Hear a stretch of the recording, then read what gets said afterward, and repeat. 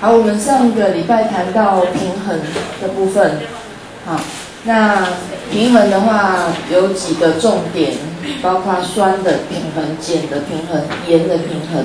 那酸的平衡它有，比如说 Ka，它是酸的 dissociation 的 constant，然后碱有碱的平衡，但是终归都是平衡，所以大原则是一样的，只是说不同的类型的话，可能有一些小的 detail 的部分需要另外再注意的。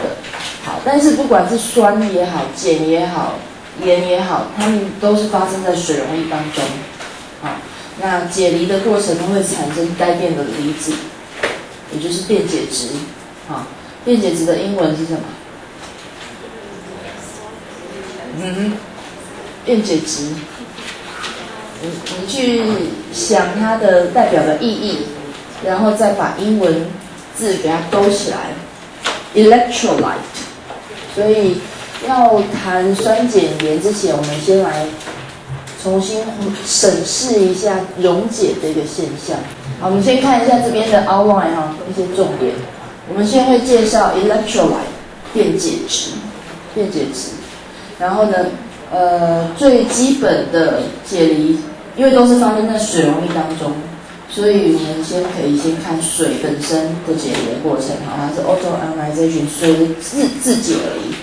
好，然后再复习一下 pH、pOH 这些，啊，以及呃 ionization constant。或者是 equilibrium constant for 单质子的酸还有碱，那再来讨论多质子的酸碱，啊，啊，然后其他的盐的部分，盐的话可能不同类型的盐，强碱强酸的呃的盐，还有强然后弱的哈，强酸弱碱弱碱强酸等等。好，所以我们先来看一下电解质它的 definition。这个 light，它是拉丁的字里面代表的是溶解的意思。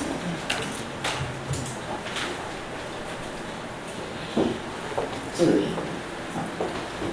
电解质容易怎么形成呢？你从它的字面上的英文的字面上啊，这个 light，从从希腊的字字尾里面 lightos，它代表的是可以溶解的，可以溶。可以 dissolve，dissolve 就是溶解嘛，啊，所以 electro 呢，electro 是电，电解质，所以就是溶解了之后，它是呃有带电的的这种物质。还有一个字 hydrolyte hydrolyte，hydrolyte，hydro 是什么？不是，水，就是一般自首如果有 hydro 或者 hydration，hydro 这个是水。所以 hydro 呃 hydrolyte 是水解物，溶在水水解的物质哈。好，所以电解质它基本的定义是 substance that contain free ions that makes the substance electrically conductive。它就是溶于水中之后会有自由离子的产生，可能是阳离子，可能是阴离子，然后让它这个物质呢能够具有导电性。那么，the most typical electrolyte is an ionic solution。这我们上次有提过哈，大部分的电解质溶液它可能是离子的溶液，但是也有可能是熔融的电解质。熔融，比如说嗯盐类啊，NaCl 或是其他各种盐类，它只要温度够高到它变成液态，那它一样有导电性，所以也可以也可以称作电解质。那基本上，大部分电解质包含了水溶液、酸的水溶液、碱的水溶液以及盐类的水溶液。那除了酸碱盐之外，我们一般熟悉的之外，哈，一些生物分子，像氨基酸啊、蛋白质啊、啊 DNA 啊，它们也可以是电解质。只要是它溶解到水中之后。在特定的环境，比如在特定的酸呃 pH 值的环境下，它有解离的情况发生的话，那就会有自由离子的产生嘛，然后就可以带电，就就就可以有导电性。所以 electrolyte solution can also result from the dissolution of some biological molecule such as DNA 啦，或者是多生态啊，哈，蛋白质啊，啊这些等等。好，那。要溶解的现象能够发生的先决条件是什么？啊？free energy。这个现象要发生，free energy 一定必须要是小于零啊。Free energy change determines whether the dissolution dissociation of electrolyte solution can be formed or not。啊，自由能它决定了这个过程、这个现象能不能够发生。那我上次有跟大家预告哈，我问你们说，我们习从小就有习以为常的同类互融，对不对？极性溶于极性，非极性溶于非极性，但是它背后的道理是什么？为什么是这个样子？终归一句话，它涉及到的是 free energy 的部分，但是它这之间有有些什么 detail 的部分没改。好，既然讨论这个过程它的自发性，那就会讨论到 delta G 的部分。那现在大家都是热力学的那个 expert 专家了吗？我是至少入门啊，好，知道 free，知道热力学在讨论的一些重要的参数。好，那 delta G 含，它是由这个它的定义啊，基本定义它由这两个参数涵盖起来的，delta G 减 T delta S，好记得吧？还记得哈？然后。我们来看一下哈，所以我们在讨论一个 dissolution 的过程的时候，溶解的过程的时候，你要去考虑到它的 enthalpy change，它涉及到的热量的变化，它在它的 entropy 的 change，以及它所发生的温度，好，the change in disorder 那就是乱度的变化，溶解通常乱度是增加减少。增加，对，好，只要是溶解的现象，呃，disorder 的程度，乱度一定是增加的，好，那这个已经决定它一定是方向一定是增加，那么决定它这个 dissolution 这个现象能不能会发生的的最重要的要件就变成是回到 N 手机的上面，OK，好，所以这两个因素要一起考虑，呃，this two factor determine the total free energy change for the process 就是这边，好，所以你。举个例子来看一下哈，如果一个 dissolution，它有比较有可能在哪一些情况下会发生因为它 G 倾向小于零会比较倾向发生嘛？所以最好这一个溶解的过程它是一个放热的，delta H 是小于零的。时候，它会比较 favor，好，这个最好是小于零，或者是呢，entropy 最好是大于零，它会比较倾向这整个 term 变成是负值。那它会比较 favor，但是如果说，因为这个这个项的符号已经决定了，已经确定的，只要是溶解 delta H 一定大于零，所以这一项一定是小于零的，所以呢，呃，这个 entropy 的项就会变成扮演决定性的角色。如果它也是小于零的话，那很好，那就整个一定确定 delta G 是小于零的。但是如果 delta H 是大于零的时候呢？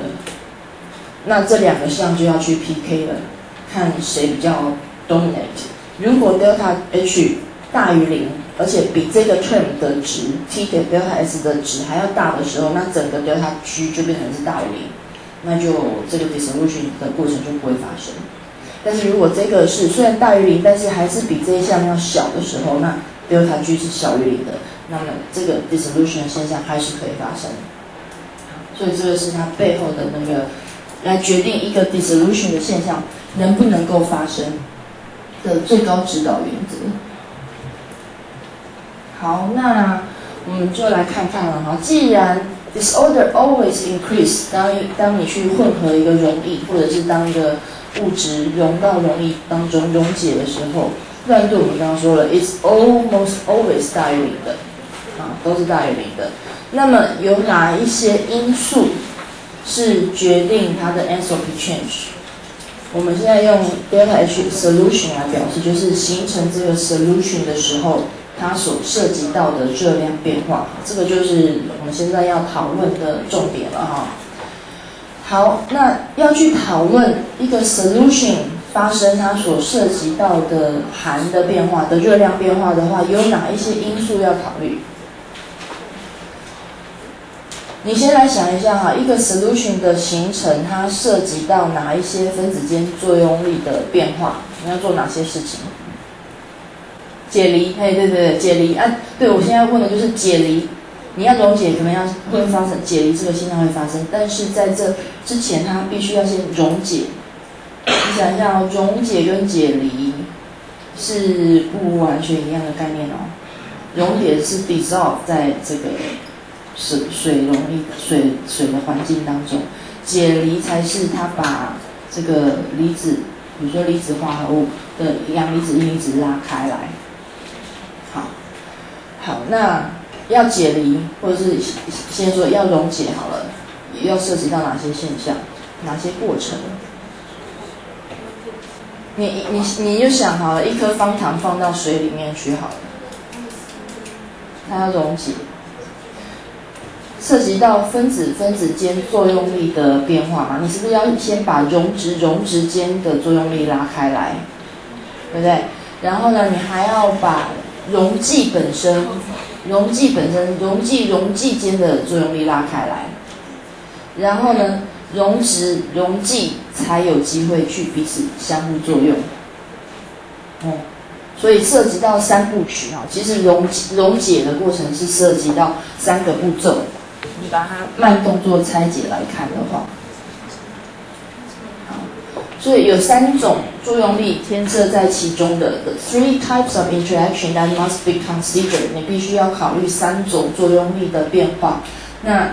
最后决定这个 solution 的 delta H 的，就是这三种作用力的互相的交互作用，它的 interplay 包含了 solute-solute 的 attraction，啊，solute-solute 溶质溶质间的作用力，它的吸引力，啊，那那个就看是什么溶质了。如果它是 iron 的话，它是离子化合物，那就是你要把那个离子离子的那个 attraction 把它拉开来。那如果它不是离子，它只是一个分子的化合物的话，那你一样，你要把它的分子间作用力和凡德瓦力把它拉开来。好，好，那还有 solvent solvent 的溶剂溶剂间的 attraction，比如说水，其实水跟水分子之间本不彼此之间都有氢键连接，所以你要把这个氢键打断，把它拉开来，把水跟水的距离拉开来，才能。让溶质有机可乘，那再来才是 solute-solvent 的 attraction，好，那这个涉及到的是水合，如果是水溶液的话是水合，那那当然如果是其他的有机溶剂的话，就是说它是那个溶解啊 salvation，salvation 就是指溶解的这一件事情哈。的一个。一个专有名词。那 hydration 是特别针对在水溶液当中。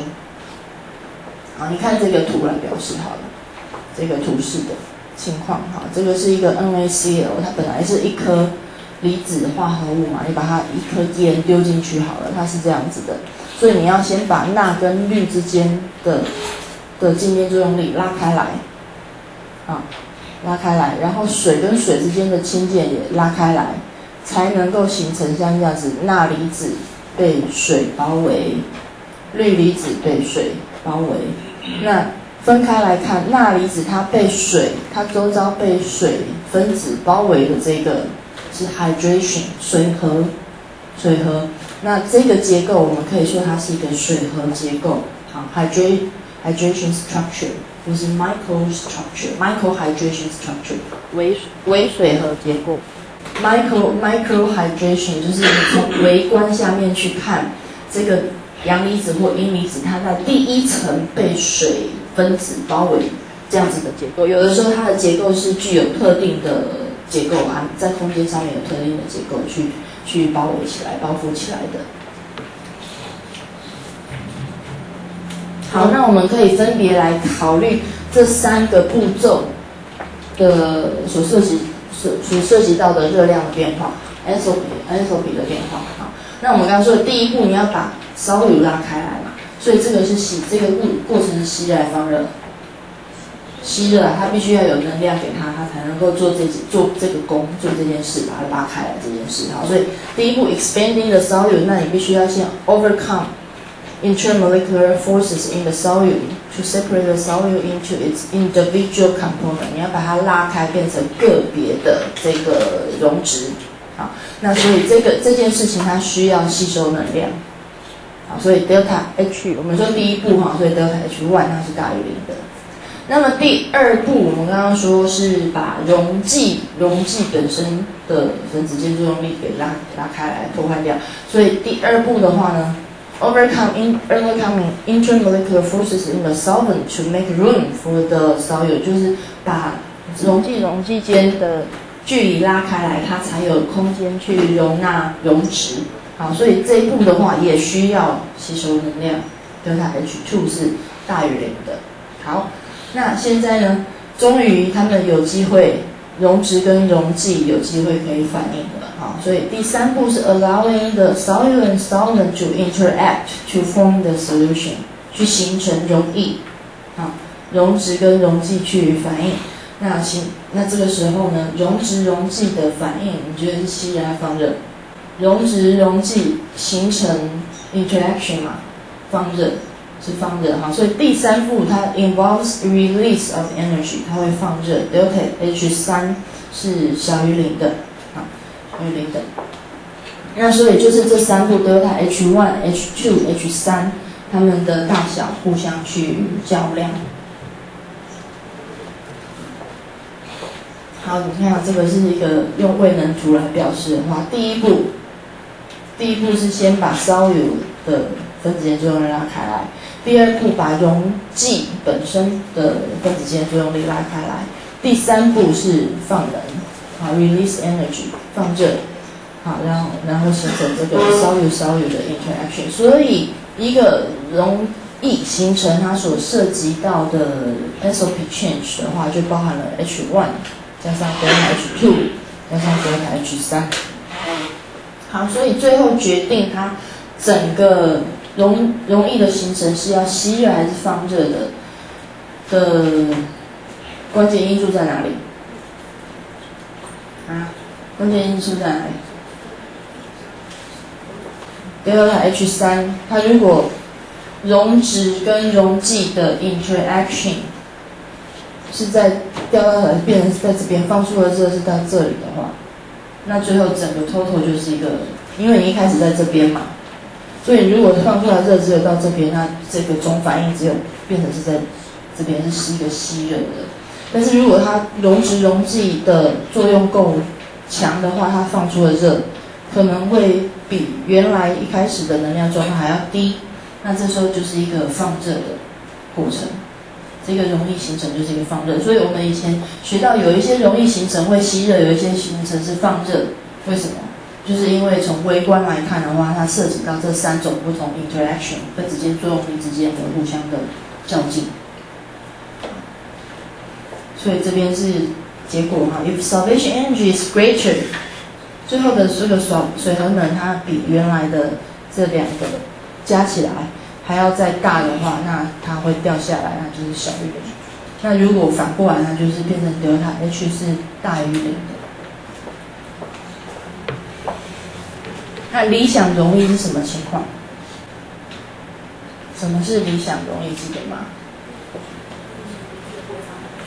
对，就没有放热，也没有吸热，为什么呢？那时候有学过吗？有学过理想容易的概念吗？如果是溶质叫 A，溶溶剂是 B 的话，AA 的作用力跟 BB 的作用力。跟 A、B 的作用力如果刚好都相等的话，那么这个溶液的形成它不涉及到能量上面的热量上面的改变，所以它叫做理想溶液。好，那之所以不放热不吸热，就是因为它们分子间作用力刚好两个加起来刚好等于 A、B 的的那个 interaction 的的那个情况下的话，就会变成是理想溶液。那绝大多数的情况，溶液都不是理想溶液。通常理想状态是不存在的嘛，这是一个状态，理想的状态。好，其实这个溶液的形成哈，你也可以把它广义的包含在气体，气体溶在水里面，或者气体在一个大气里面，不同的气体混合，它也是一个广义的溶液，一个 mixture，它所涉及到的热量变化其实也都都要考虑这几。种不同的分子间作用力的作用。只是说对气体来讲的话，molecules 它们彼此相距的非常非常的远，所以它的那个作用力彼此之间分子间作用力是很小的，小到可以忽略。所以容易哈，其实涵盖了这个以前高中的时候有没有提到过？容易广义的容易啊，有吗？哈，好。对，胶体也是一种容易。嗯，好，dissolution，你气体溶于液体，气体溶于固体，固体溶于啊不同的那个状态之间的物质彼此之间的互溶。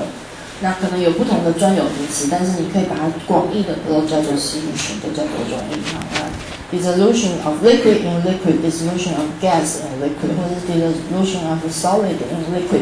但是不管它是什么状态，我们考虑到它的能不能够发生的话，就是刚刚说的这三部曲，还有它这这三种不同作用力之间的互相大小的比较。好，那这边在复习一个概念，晶格能有学过吗？我们上次啊，记得我们讨论那个离子化合物的时候有谈到这个晶格能。什么是晶格能？晶格能。出发是从什么出发？出我所谓的出发就是你能量从哪里开始看它的起始点。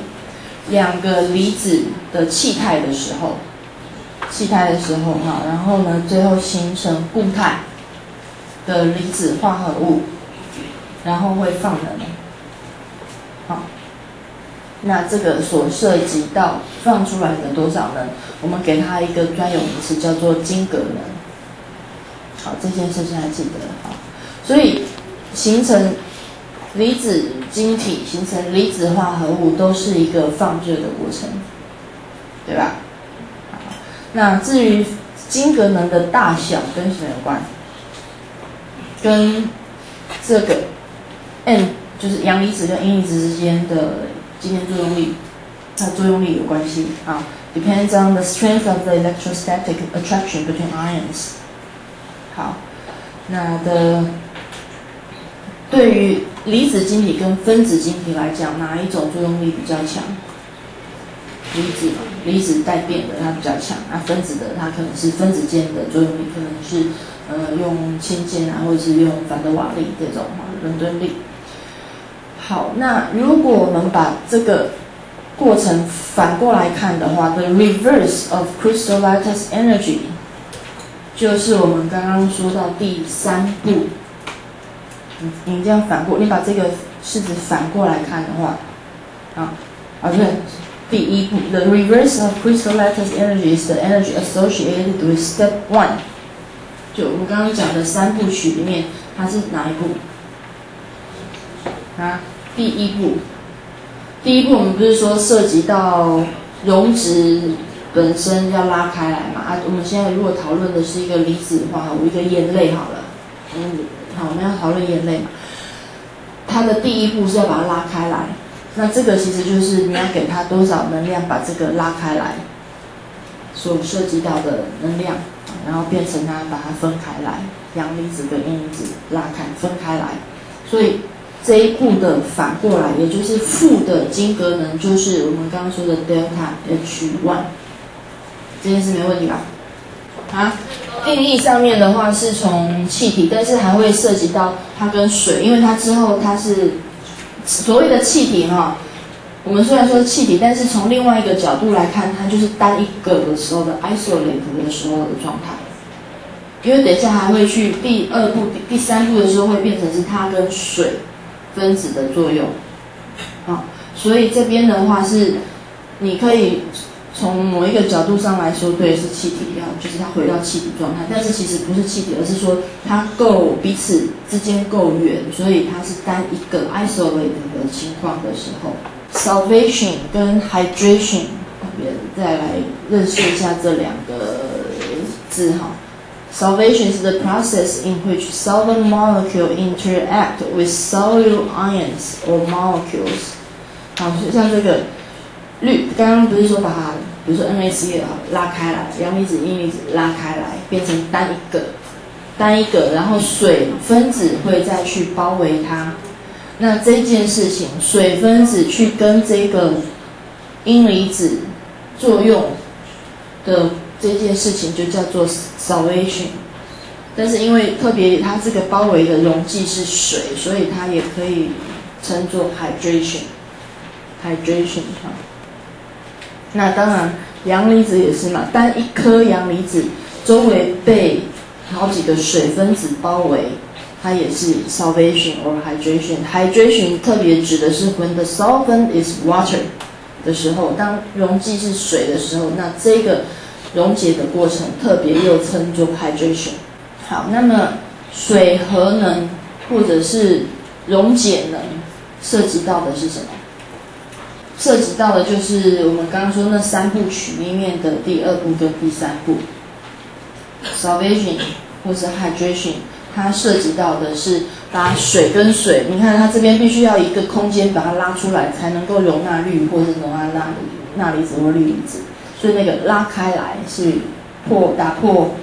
那个溶剂溶剂间的作用力，好，然后呢，再来氯跟水之间的作用力，或是钠离子跟水之间的这个 interaction，这是第三步，solute-solvent interaction，所以它这个是一个溶解，你看，所以嗯，我们考虑的是单一个的时候，单一颗钠离子，单一颗氯离子被水包围，整个包覆起来，好，所以 hydration energy。或者是 salvation energy，它是 the energy change associated with step two and three，第二步以及第三步，在那个三部曲、三步 scenario 里面，它的第二跟第三步。好，也就是说，我们刚刚说的 H one、H two、H 三里面呢，H one 它是那个，对刚刚看到它是可以用负的金格能来表示。然后，delta H2 跟 delta H3，那它是用这个 salvation energy，或者是特别针对水溶液的话，它是一个 hydration 的 energy。OK，好，那么我们刚刚前面讲了这么多，我们就来看一下哈。那么当不同种类的溶质要溶于不同种类的溶剂的时候，它所涉及到的 delta H 会怎么变？还有它最后的 delta G 会怎么变？啊，因为 delta S 不用讲，在溶解这件事情上面的话，delta S 一定是大于零的。好，那我们来看一下哈，如果现在是一个极性的溶质、极性的溶剂的时候。极性溶质、极性溶剂，哈，那第一步的值的那个涉及到的能量大不大？如果是极性，比如说是离子化合物好了，大嘛，对不对？啊，相对我们现在讲的是一个相对定性的概念就好，是大的，因为它是有极性，所以极性越强的话，分子间作用力会越强，对不对？因为不用翻了那个课本上面了，嗯。好，然后第二步嘞，第二步是溶剂溶剂间的分子间作用力。那既然是一个极性的溶剂，所以也是大的。好，然后溶质溶剂的作用力呢？第三步，因为两个都有极性嘛，所以溶质溶剂的极性的形成都大的时候，它的作用力也算大的，所以它放能是不是也是大的与释放出来的能量相对也是大的，那所以这些都大的情况下的话，最后 solution 它所相对的形成的是大还是小？相对的值啊，相对的会比较小，好，相对会比较小。那从这个这个 delta G 是等于 delta H 减 T delta S 来看哈。这个相对小啊，这个一定 favor 嘛，这一个项一定是 favor 形那个自发的，因为 delta S entropy 影响的关系，entropy 增加，所以它会让整个过程的 delta G 是倾向于小于零的。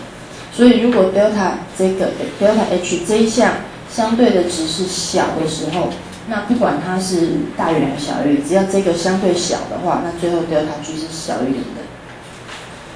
那这种情况，我们再另外看一下哈，相对于如果现在呢情况变成是 nonpolar solute and polar solvent 的话呢，nonpolar 溶质非极性，溶剂是极性的时候，溶质是非极性嘛？那如果溶质非极性，你要把溶质溶质之间的作用力拉开来，相对跟刚刚这个 polar 比较的话，它的 delta H one 大还是小？比较小，比较小啊。然后呢，delta H two 呢，它是溶剂溶剂的作用力。那现在溶剂是 polar 的极性的，所以你要把它拉开，你的 delta H 会大。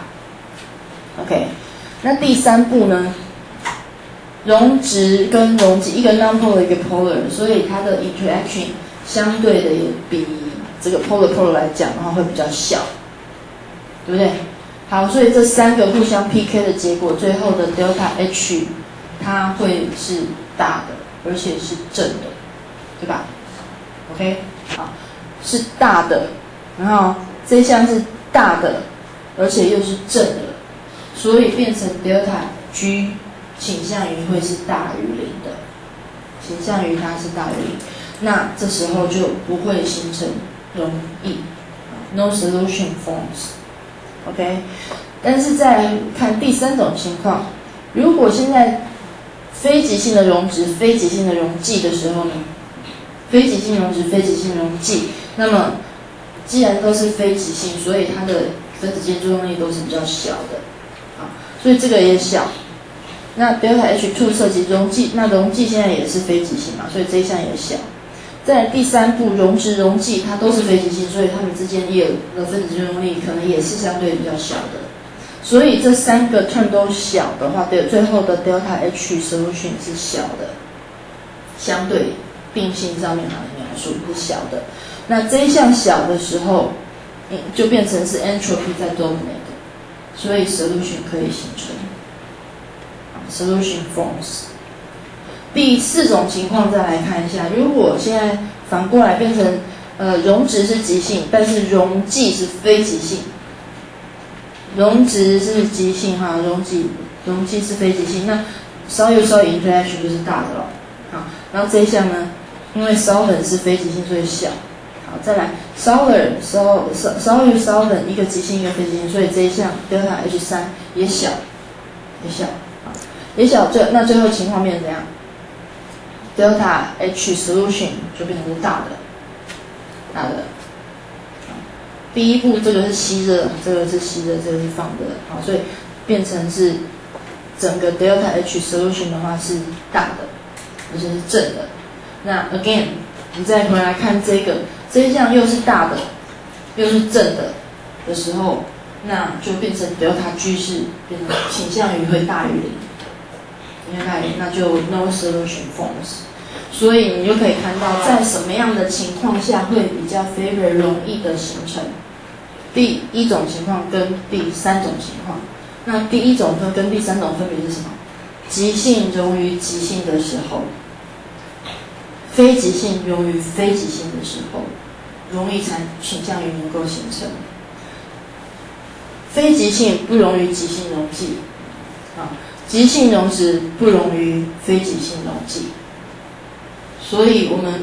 一直习以为常，觉得理所当然，极性溶于极性以及非极非极性溶于非极性的这一个现象，它最后背终归背后是有热力学的因素在操控它的，它牵涉到它的 entropy 的改变以及 entropy 的改变，然后这这两种串这两个串之间的互相去看哪一个因素是 dominant 的，所以 process。that require large amount of energy cannot to occur。那 overall 就记得嘛，like dissolve like 同类互溶，同类互溶就是这个这个过程，它背后所带所涉及到的一些现象跟能量的变化。好，所以溶解的这件事情我们考虑好了。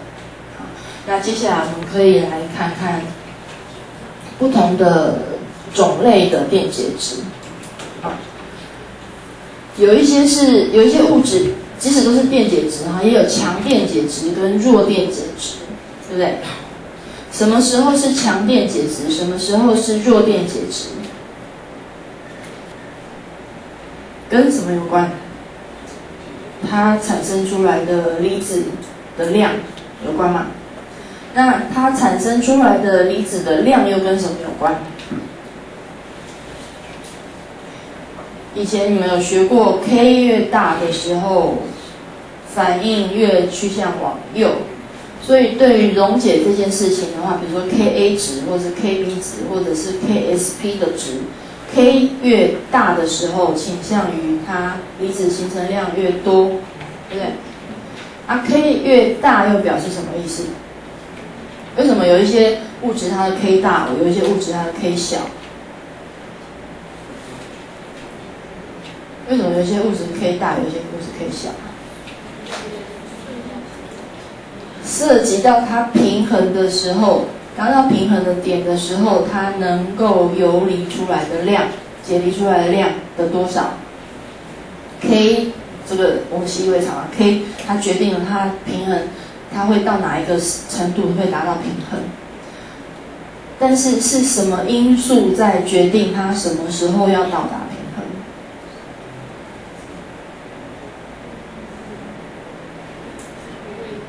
？free energy，哎，又是 free energy 嘛，delta G 等于负 RT 跟 K，所以 K 的大小决定在哪里？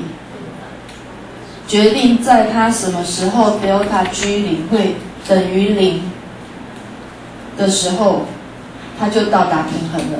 从那边你可以决定它的平衡常数的大小。那 delta G 零的意义是什么？它的它的物理意义是什么？delta G 零的物理意义是什么？嗯？或者 delta G 等于零？呃，delta G 啊，我们那时候不是说嘛，它是 free energy，呃，the energy free to do work，它自由自由能就是自由做工的能力，啊。自由做工的能力是 free energy，所以当没有自由做工能力的时候，它事情还能不能够推动，就没有做事情的力气了。所以当 delta G 等于零的时候，反应就没有办法再往左或往右了。那这个时候反应就几乎是，呃，我们就说达我们所谓的达到平衡，好，就是反应它不会再倾向往右。再产生更多，或者是反方向，它也不会再回来产生更多的反应物的这个情况下，是当它 G 等于零的时候，那这个时候的这个 quotient 就变成是它达到平衡的时候的常数的状平衡达到平衡的时候，可以用来去描述所有物质的浓度的比例的一个一个常数啊。所以一个物质它能够反应到什么样的程度达到平衡，由 K 值来决定。K 值大小由什么来决定？由 delta G 来决定，由 free energy 来决定。它什么时候会等于零？它什么时候达到平衡？OK，好，所以平衡常数它背后还是一个热力学的概念。OK，好，所以有一些，好，所以。强的电解质跟弱的电解质的话，我们说强电解质它是几乎百分之百解离，strong electrolyte，它 approach 百分之百 dissociation in aqueous solution。那弱电解质呢，它可能只有部分解离。那至于为什么有一些是强的，会百分之百解离，有一些是弱的，跟它背后它的 delta G 它的做工的能力有关，它以及它所对应出来的 K 值有关。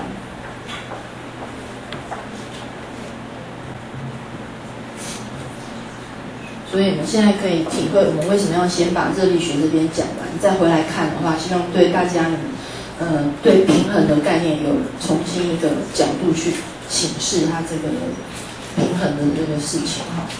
好，那最基本、最重要的一个平衡是什么？水，水哈。地球上面最重要的一个电解质就是水。那水它会自己离吗？自解。那水的自解离，水的浓度是多少？虽然平常我们在讲水的浓度好像很奇怪，但是水它我们也也是可以算水的浓度的。浓度用那个摩尔浓度来表示的话，怎么算？每升多少摩尔，对不对？每升多少摩尔？按每升就是一千克的水除以十八，就是五十五点五摩尔。好，然后除它是在一升嘛，所以水的浓度是五十五点五 m。这个这件这个事情知道？好，那所以水它自解离会有一个水的离子基。就水它这个溶解的这个现象啊，好，它会有这个 K 呃 K C 啊 K 的表示方法都是一样的，然后这个带进来，啊，你会得到这样子一个值。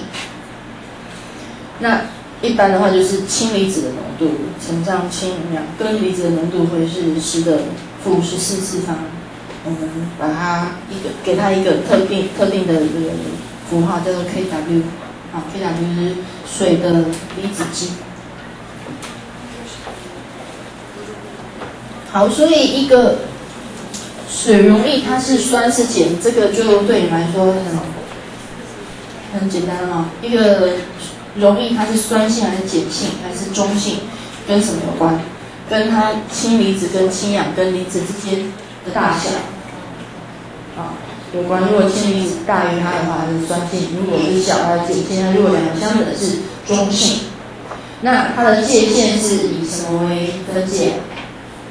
中心是十的负七嘛，啊，十的负七。好，所以这个酸碱比可以，还有基基本的定义啊，什么是酸，什么是碱？共二酸碱的概念有吗？啊，共二酸碱，比如说这边有一个酸，然后它跟碱啊，不，它这边现在是一个 HA 弱酸啊，然后跟水水，然后呢，它可以形成 H 三 O 正跟 A 负，那这个时候谁跟谁是共二对？Conjugate base is everything that remains of the acid molecule after a proton is lost。好。对，这个跟它，这个跟它，啊，conjugate acid is formed when the proton is transferred to the base。 哎，酸碱以前酸碱的学说有学过吗？酸碱有什么？阿瑞尼氏酸碱，好，阿瑞尼氏的酸碱讲什么？氢离子，啊，酸的话是可以产生氢离子的。碱是可以产生氢氧根离子的，然后后来还有什么 b r o n s t l o r y 布朗斯特罗雷酸碱学说，那他说的是什么？一个是质子的 donor，一个是 acceptor。啊，酸是给质子的，可以给出质子的，那跟这边的意思其实是差不多的哈，可以都都内一个质子出去。然后碱的话，它就是 acceptor，接受碱。那还有一个呢，氯乙式酸碱。记得吗？氯乙是酸，氯乙是碱。啊，氯乙是它的定义是什么？得失电子，得到电子的是酸碱。啊，得到电子是酸，得到呃失得到电子是酸，然后失去电子是碱。哈，Lewis acid electron pair acceptor。那氯乙是碱呢？是 donor，electron donor。好，这个是酸碱，它的历史上的有一些酸碱，不同酸碱的时候的定义。那至于什么时候是酸，什么时候是碱，刚刚说了哈，跟它最后平衡到达的程度完整，平衡完整的程度有关系。好，好，那基本的酸碱的概念，帮大家跟大家介绍到这边。好，然后有一些。其他跟酸碱相关的计算的话，还有碱的计算，我们明天再继续谈。还有一些 buffer，所以其实这边还有很多 buffer，就是缓冲容易同离子效应这些，所以这边还有蛮多需要可以好好追踪的。还有它在生物上面的应用。好，好。